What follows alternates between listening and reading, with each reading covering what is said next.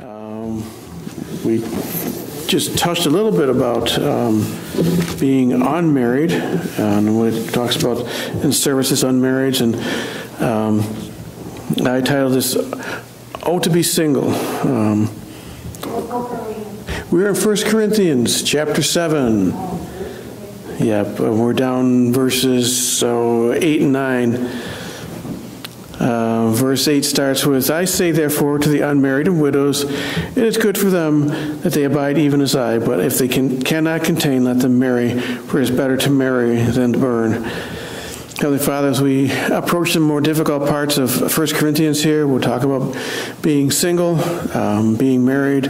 Um, uh, We'll, we'll touch on divorce, Lord, and remarriage, and Lord, it's never your will that people get divorced, but things happen and men make messes out of their lives. And um, Lord, I know you have provisions for certain things. We have your perfect will, and that would be our, always our desire to do is your perfect will. Um, Lord, just give us uh, uh, your wisdom as we go through these scriptures, Lord. Uh, it's not my area of expertise. I've put much research into it.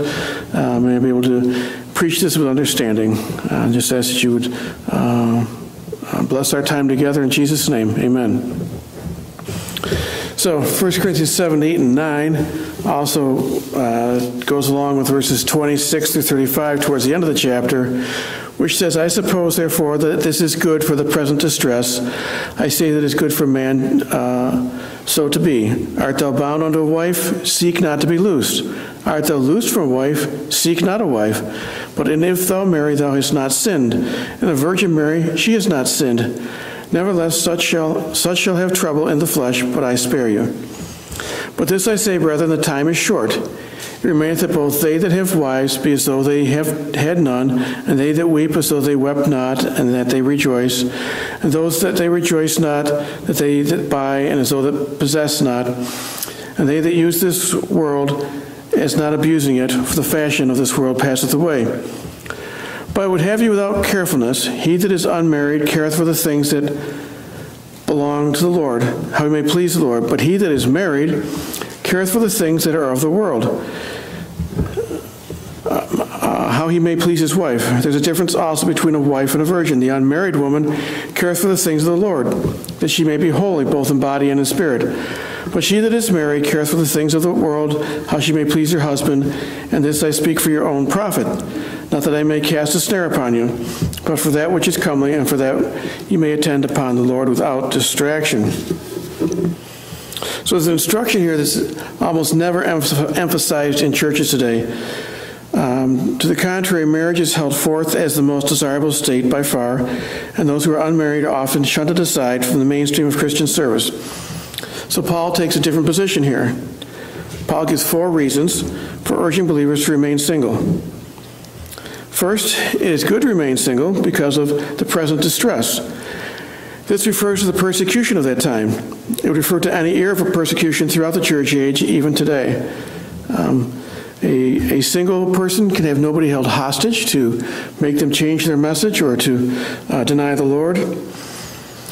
Second, it is good to remain single because of the difficulties of married life. Nevertheless, such shall have trouble in the flesh. Single people tend to see marriage through rose colored glasses, but Paul is speaking about reality. There are troubles in marriages, although not mine. My wife and I never fight. We have no problems at all. It's, we, are just rolling right along. Uh, there's no sorrows. There's no untimely deaths of children.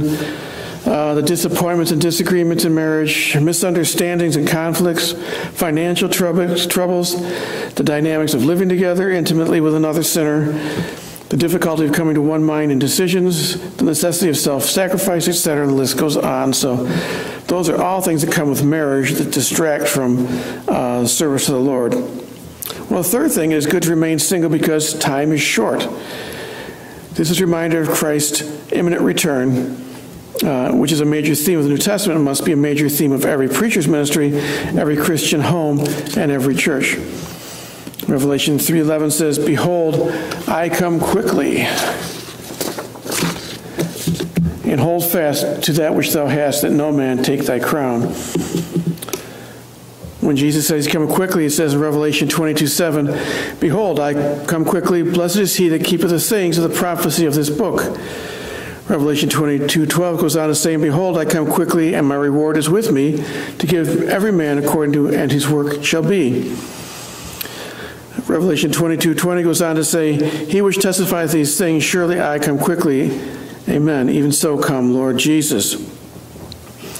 So you know, when we think of the married life and how actually difficult it is to do ministry, the single person has the ability to go on very quickly and go out and spread the gospel even more so as the time approaches. Romans 13:12 says, "The night is far spent; the day is at hand. Let us therefore cast off the works of darkness and let us put on the armor of light." 1 Peter 4 7 says, But the end of all things is at hand. Be therefore sober and watch unto prayer. So Paul goes on to remind the brethren that the fashion of the old world passeth away in 1 Corinthians 7:31, which says, "And they that use this world and not abusing it, for the fashion of this world passeth away." So it is happening right now. The world system and its fashion is passing away and soon will be gone. Therefore, we must live our lives fixed and firmly on the next world, make all of our decisions in that light, including marriage. God's people must know the times. Paul is teaching great wisdom he says here, and they that use this word, this world as not abusing, refers to using the things of this world wisely and properly before God and not abusing them for sinful purposes. So that's the, the time is short, and uh, a single person can do ministry faster, quickly, it's, more portable, um, doing, doing more work for the Lord, um, for the time is short, trying to get more souls saved. Fourth, it's good to remain single, to be without to be without carefulness. Careful here means anxious or troubled or distracted with care. The single person can concentrate wholly upon serving the Lord, but the married must always care about his or her own family. It is interesting in this context to observe that the first four missionaries were single. Um, Paul was single and um, did, a, did, a, tremendous work. He would go from town to town, whether he had um, just his coat on his back um, we know that he went through many trials. He was stoned, bit by a snake, shipwrecked, uh, many, many difficulties in life that he did not take a spouse or children through. Um, Acts 13, 1 through 4 says, Now there were in the church that was at Antioch certain prophets and teachers, as Barnabas and Simeon, that was called Niger, and Lucius of Cyrene, and Manaen, which had been brought up with Herod the Tetrarch and Saul. As they ministered to the Lord and fasted, the Holy Ghost said, Separate me, Barnabas and Saul, for the work whereunto I have called them. And when they had fasted and prayed and laid their hands on them, they sent them away. So they, being sent forth by the Holy Ghost, departed unto Seleucia, and from thence they sailed to Cyprus. So these men all went out as single men. They didn't go out as married couples. They all went out as single men to do the work of evangelism, to be missionaries, to spread the gospel. So it is probable that Timothy was also single, as nothing is ever said about a wife. The married person must devote a lot of his or her time and thought to marital and family concerns. Paul is saying that the single Christian is free from these obligations and thus at liberty to focus upon serving the Lord, that ye may attend upon the Lord without distraction. It's in verse uh, 35 of chapter 7. Paul, as a single man, could give his full attention to prayer and Bible study, evangelism and teaching and discipleship and Christian warfare. He could travel at a moment's notice without regard for wife and children. When he traveled on preaching journeys for years and spent months in jail, he didn't have to worry about a family.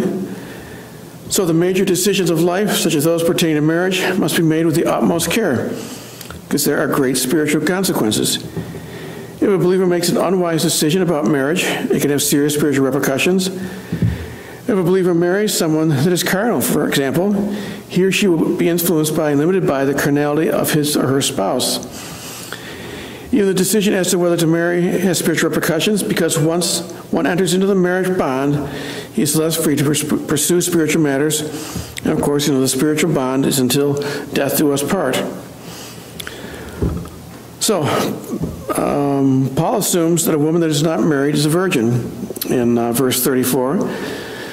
This is, line with the, this is in line with a high moral code of early churches, in shocking contrast with many modern churches. Though there were instances of immorality among the Christians then, this was a gross exception. It was a matter of discipline. So, um, kept virgins is um, not as common today as it was actually in the uh, first church at Corinth. I know I read an article a little, little while ago. Now, this is just a general society. Most high school seniors, 80%, have been sexually active with more than one partner by the time they graduate from high school. I think that is a very, very sad situation of where our society is today. Um, so Paul gave this instruction to help the believers not to hurt them. He's not making this into a law, but is giving godly advice. In the end, marriage is a personal decision that the believer must make before the Lord. But this is an example how preachers must be careful not to make even the strongest preference into an absolute law. Though Paul saw many compelling reasons to forbid marriage, he did not forbid marriage, though, because he had no authority from God to do so. Uh, uh, verses 10 and 11 of chapter 7, it goes on to say, And to the married I command, yet not I, but the Lord, let not the wife depart from her husband.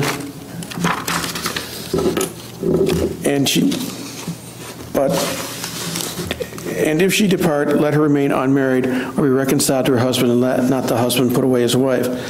So we're getting into a, uh, a difficult section here. Sometimes the waters seem muddied. We'll just have to take it slow here. I spent, I don't know, a week studying different commentaries, searching scriptures, and um, going through our um, articles of faith, our Constitution, and, and seeing um, what it says about marriage and about uh, service. Um, so it talks in this verse about depart. Depart means to separate. Clearly implied the separation is that of divorce. We find as we continue in this chapter, we will see God's perfect will and then God's permissive will. So the husband or wife should not depart from his or her spouse, says that in verse 10, and we know that God hates divorce. Malachi 2.16 says, For the Lord, the God of Israel, saith that he, he hateth putting away. For one covereth violence with his garments, saith the Lord of hosts. Therefore take heed to your spirit, that ye deal not treacherously. The Jews had treated their original wives poorly by divorcing them for no reason. They were practicing polygamy, infidelity against their wives and they were not innocent. God's plan always has been for one woman, for one man. It is even included in the plan for godly seed for, Adam, for Adam's time until the present. So God's will from the beginning of creation was for one man to marry one woman and for them to cleave to one another until death and not depart from one another. So Genesis 2:24 says, "Therefore shall a man leave his father and his mother and shall cleave unto his wife, and they shall be one flesh." Now, I always thought of cleave, you know, like the, that meat cleaver that the butcher uses. Well, no, obviously that would be like splitting up. No, the, the word cleave here, this means to glue, to adhere, to join, to stick. The Hebrew word uh, used in Genesis, is even more expressive, to cling, to adhere, to abide fast together, to follow hard after, to be joined together, to keep, to overtake, to pursue, to take. So, it's, it's, um, it's the joining together, not the splitting apart.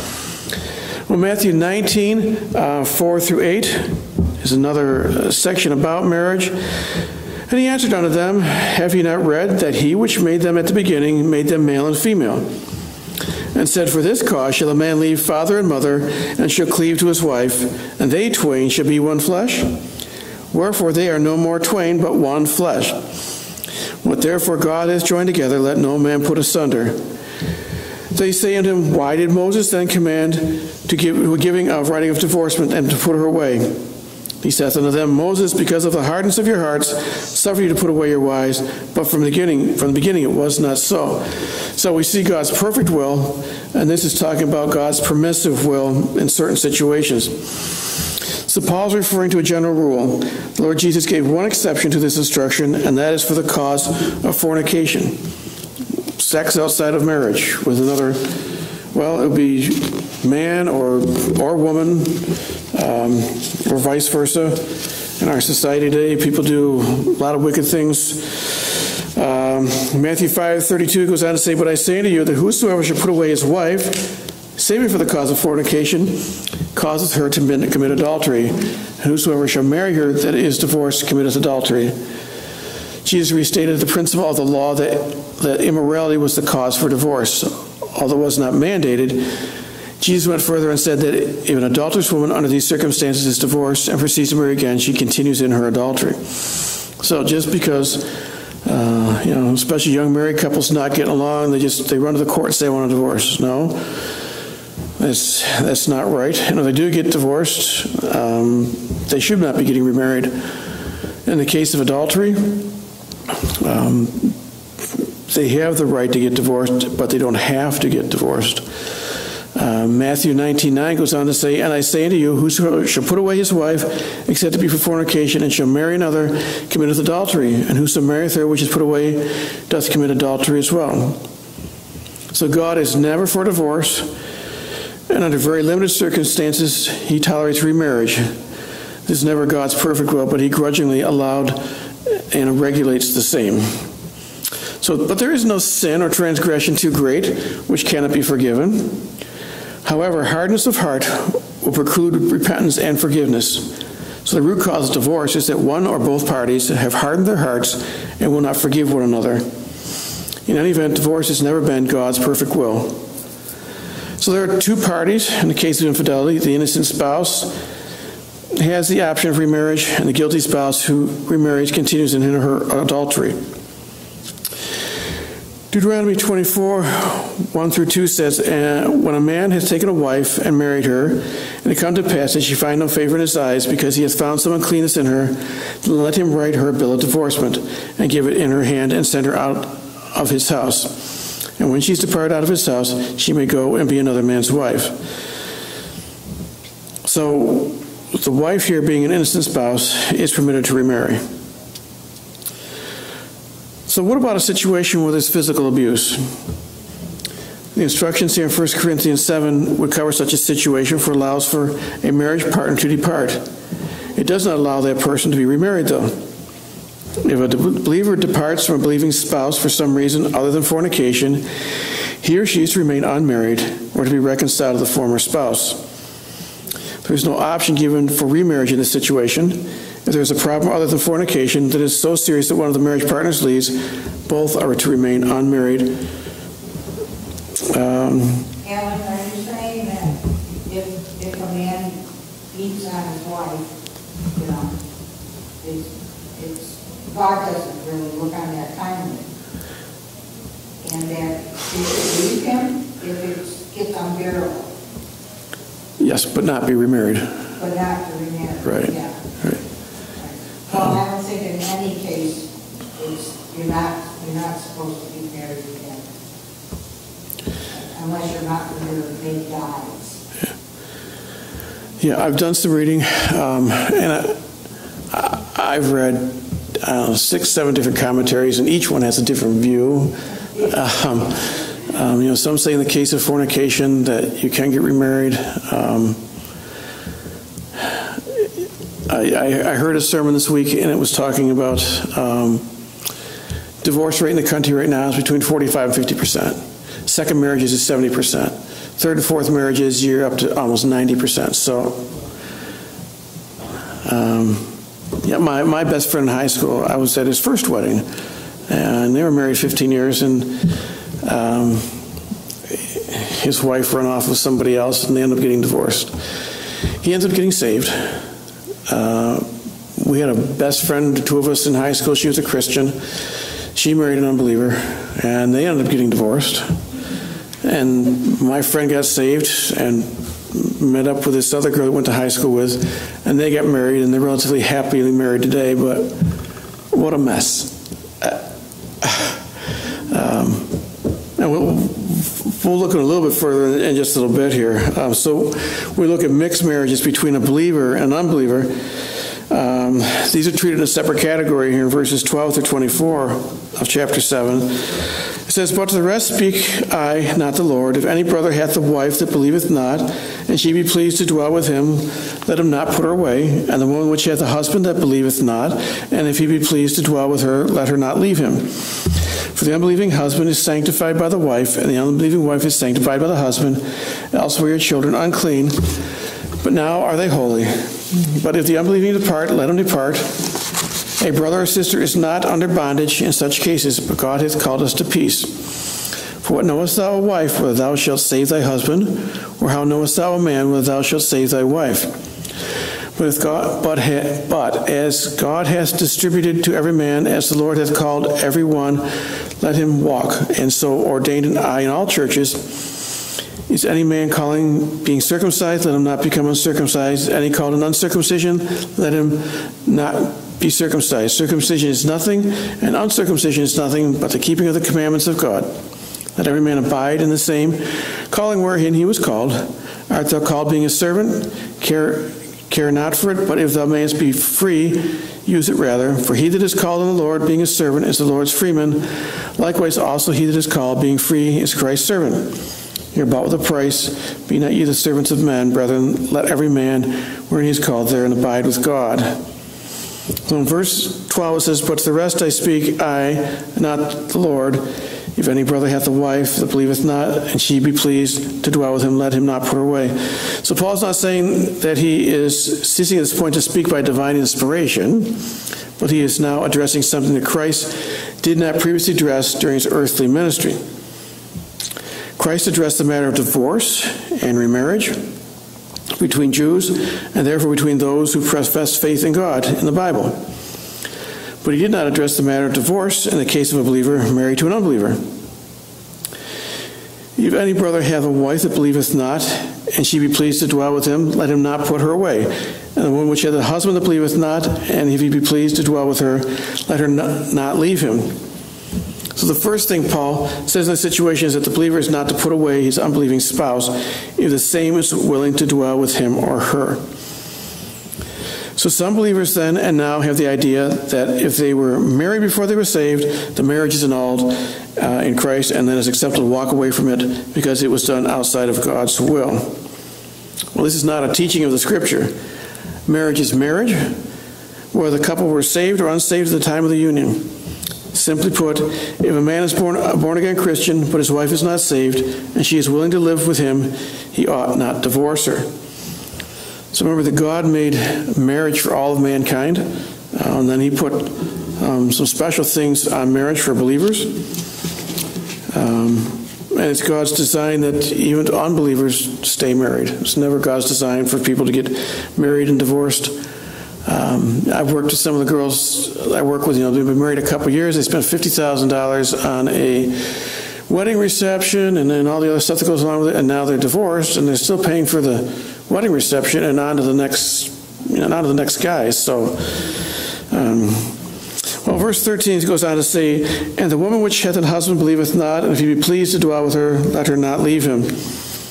It is implied here simply if a born again woman has an unsaved husband, and he is willing to live with her, she ought not divorce him. Verse 14 goes on to say, For the unbelieving husband is sanctified by the wife, and the unbelieving wife is sanctified by the husband. Else we are children unclean, but now are they holy. So it took me quite a while to figure this out. Um, so, an important reason why the believer should seek to preserve the marriage is that God's special blessing is upon the unbelieving spouse and children in this situation. So, children in this situation most frequently spiritually gravitate towards a lower spiritual denominator in their parents.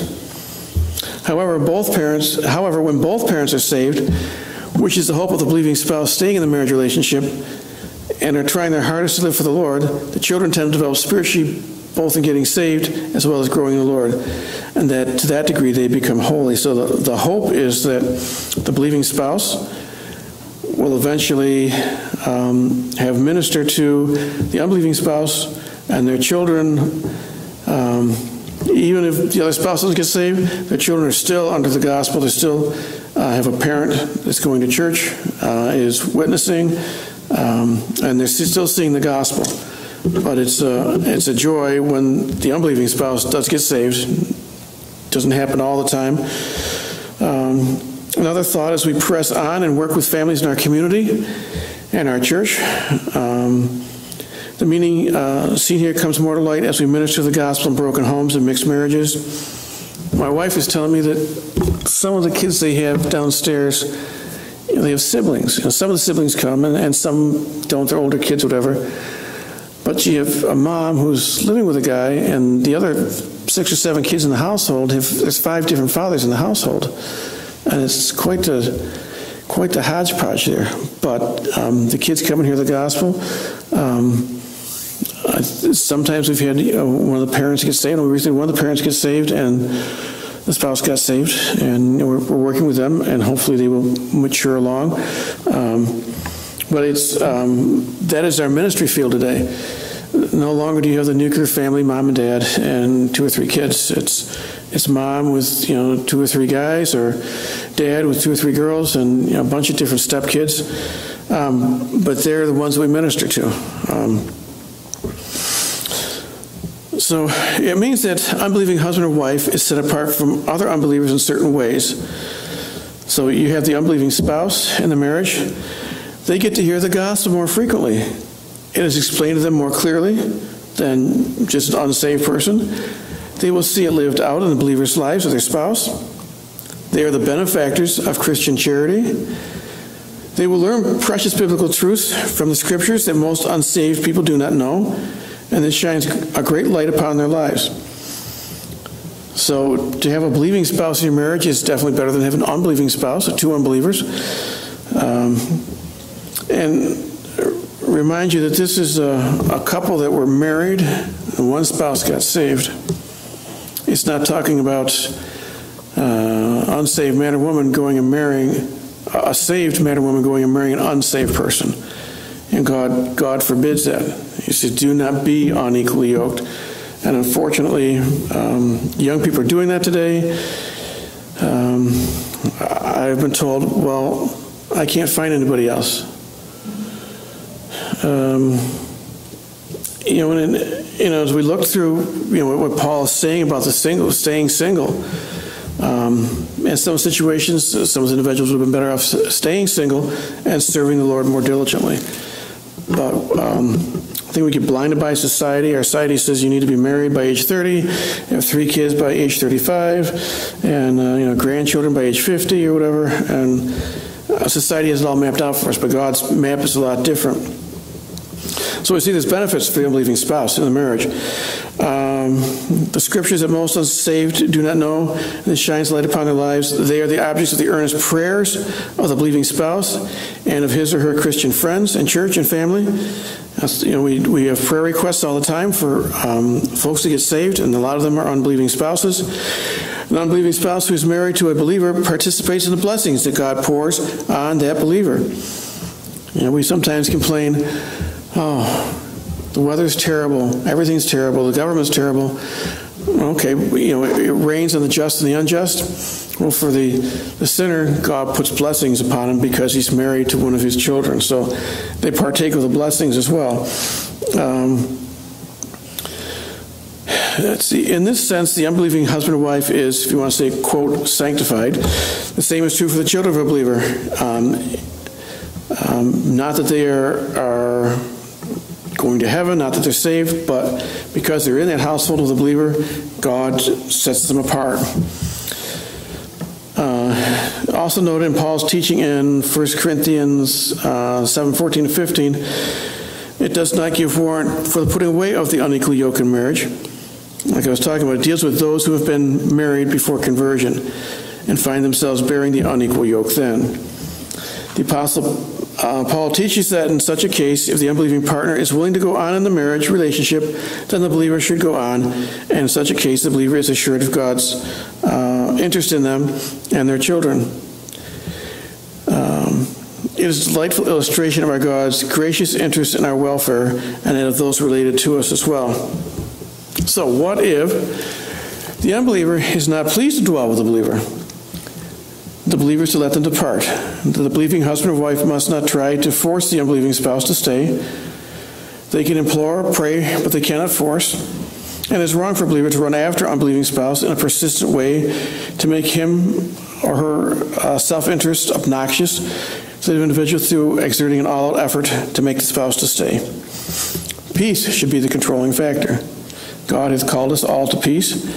The believer must not allow himself to be overcome with the, with the fleshly anger and jealousy and strife that often attend such situations.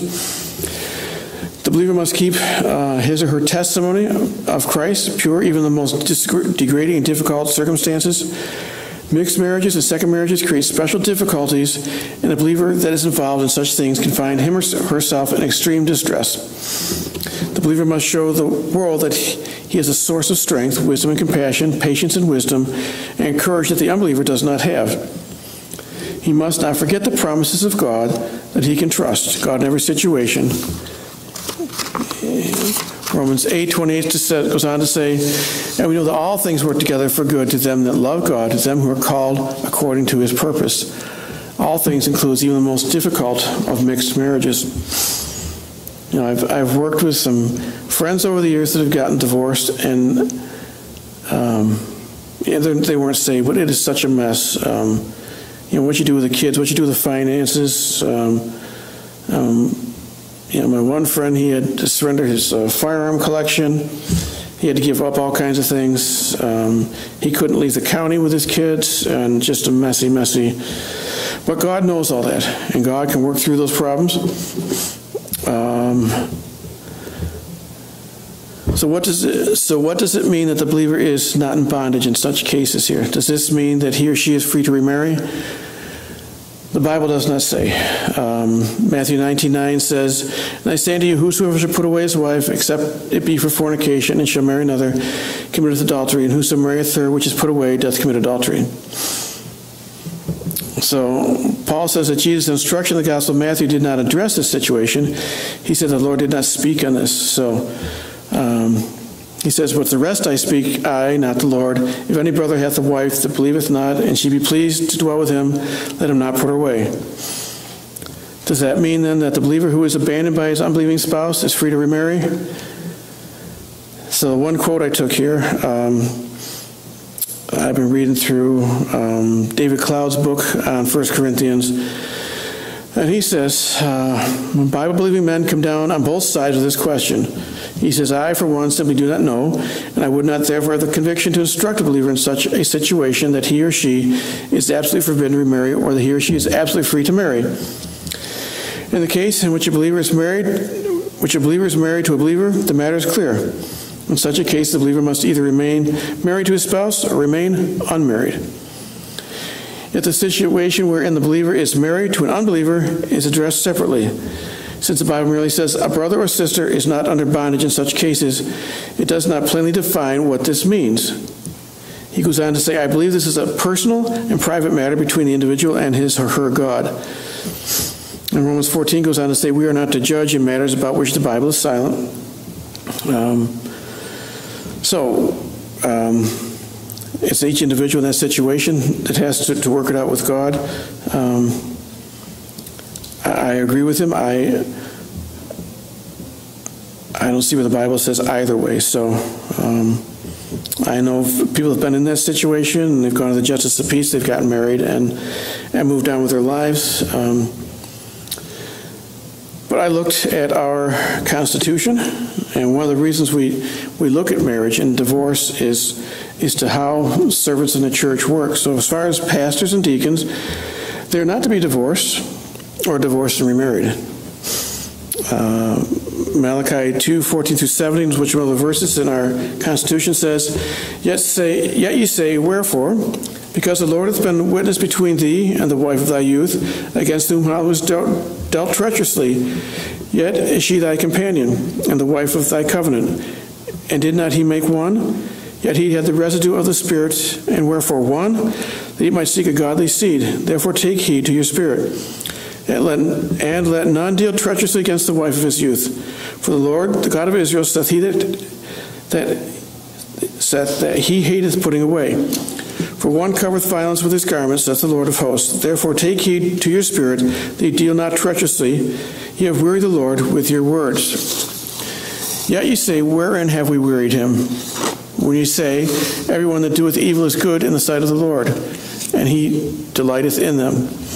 Or where is the God of judgment? So God is never never wanting the putting away of one's spouse. Um, another passage in Matthew 19, 3 through 12, um, where Jesus tempted of the Pharisees. um, which we already looked at part of that. Uh, Romans 7, 1 through 3 goes on to say, Know ye not, brethren, for I speak to them that know the law, how the law had dominion over a man as long as he liveth? For the woman which had abused hath for the woman which hath an husband is bound by the law to her husband, so long as he liveth. But if the husband be dead, she is loosed from the law of her husband. So then, if while her husband liveth, she be married to another man, she should be called an adulteress. But her husband be dead, she is free from that law, so that she is not an adulteress, though she be married to another man. So that has to be do with. Um, you know, we, we may have a pastor at some point in the future that has a, a previous spouse that's passed away and needs remarried, and, um, and she's not divorced, or she may have had a spouse that passed away as well, and that's perfectly fine. Uh, 1 Timothy 3 2 says, um, pulling these verses out of our Constitution, as a bishop then must be blameless, husband of one wife, vigilant, sober, of good behavior, given to hospitality, apt to teach the same for deacons in 1 Timothy 3.12. says, Let the deacons be the husbands of one wife, ruling their children in their own house as well. Titus 1.6 goes on to say, If any be blameless, the husband of one wife, having faithful children, not accused of riot or unruly. So the thought here is one wife for a lifetime. Um, back in Corinth, they did practice polygamy, but they also divorced one wife and they were on to the next. Well, now you have two wives. So, um, our day and age here, people go to the court and they say, I want a divorce, and they think it's over with. But in God's eyes, marriage is until death do us part. So that's why it says one wife for pastors, one wife for deacons. Um, so 1 Corinthians 7.16, continuing on here. For what, thou, for what knowest thou, O wife, whether thou shalt save thy husband? Or how knowest thou, O man, whether thou shalt save thy wife?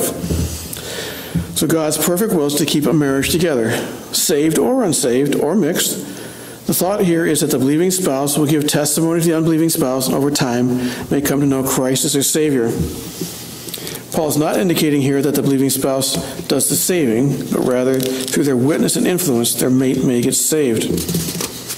Um, verse 17, uh, working through the chapter here.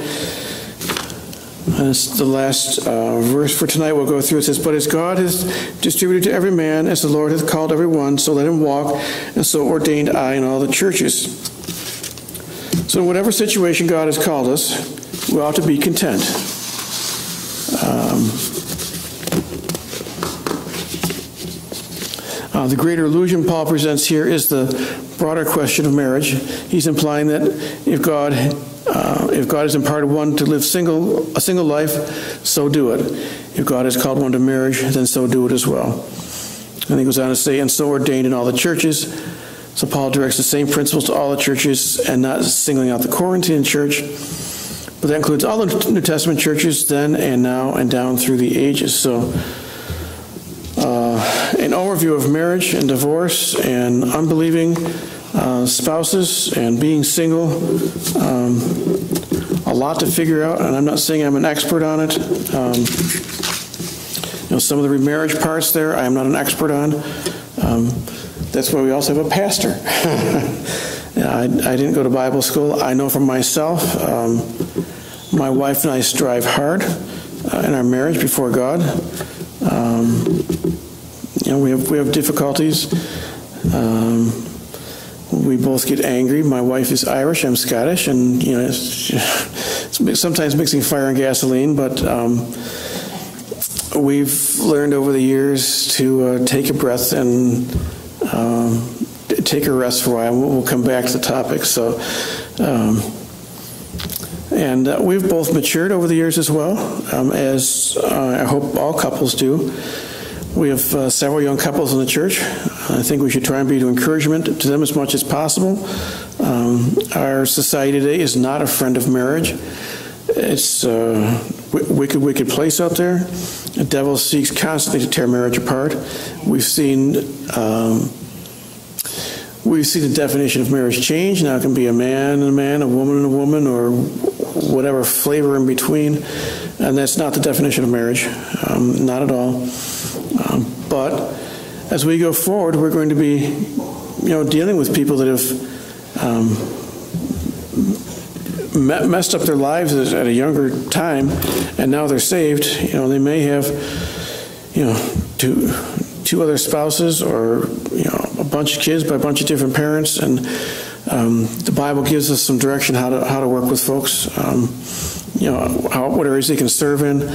Um, uh, Our church only calls out two things, um, pastor and deacon, um, and all of our deacons are trustees too, so the the role of trustee as well. Um, But the other areas of service in the church are open to people that have had difficulties in life and uh, have been remarried. And um, I I encourage those people to serve right alongside folks who've been married for the last 50 years. Um, Because God didn't give any, I know some churches don't want divorced people doing anything in the church, and that's not right. Um, People have moved on in their lives. Obviously, if, if people are um, flagrantly sitting in their life, you know, besides being divorced or married, well, that would be something that would have to be dealt with at the time. But, um, you know, I I encourage folks that have been divorced or married to go on serving the Lord. Um, Just can't be a pastor or a deacon, that's it. Well, um, hopefully we'll finish up chapter 11. Um, I might preach something different next week because uh, we have no kids club, and um, folks coming upstairs here will be coming in the middle of chapter 7, having no idea what's going on, so I might do just a topical uh, sermon next week. We'll we'll see how that works out. Um, Pray for me. I, I do not have enough time in the day to, to get stuff done. Um, um, I did a little bit of this sermon um, during my lunch break at work, and then trying to, between my, my periods I sleep at home, trying to grab some commentary and read it. Um, we were, we were going someplace the other day. I, I put a sermon on in the car while we were traveling, listened to that, and uh, it's, it's a lot to go through. Uh, but I'm not an expert at it. Um, I wish Roland was here because he's got a better understanding of it than I do, but um, you had a question? Yeah, I had one more prayer request I forgot. You remember Rita Summers? Yeah. Like, the brink of leaving, of this, you know, entering heaven. No, is um, Bob still alive? Pardon? Is Bob still alive? Yeah, uh-huh. No, they were living with their daughter, right? She's, she's 96, and he's like right behind her. Yeah. I just, I have, Yeah, but, yeah, Bob, oh, I, I love both of them. Bob, Bob was the deacon with us for a while at Calvary, and is a good man. Now, there's a, there's a couple that both their spouses died, Yep. and they found each other in the church, you know? And I'm not saying you have to be in the church to find somebody, but just, you know, gives you the opportunity. Well, you, you want, you want to marry a believer, and Yeah. you find believers in churches, in, in Bible-believing churches. Um, Yeah, I mean, some, uh, I'm really up in the air over the, the Christian dating sites. I'm not impressed with them. I, I know some people have found spouses that way. It's just not, I think, going to churches and meeting folks and, or you, you may have a relative that's saved, it's single and you, you know, hear somebody over here, somebody single and, and you, you put the two together, those type of things, and God works those things out, but. Well, let us close in prayer here, and I'll pray for Rita there too. Heavenly Father, we just are thank you for your word, Lord.